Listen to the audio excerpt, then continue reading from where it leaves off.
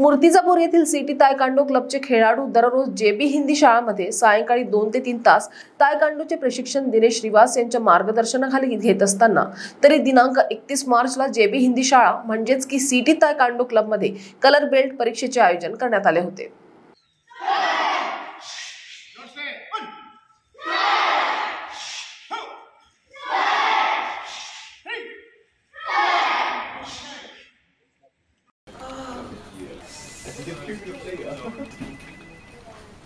Boss ने meeting बुलाई।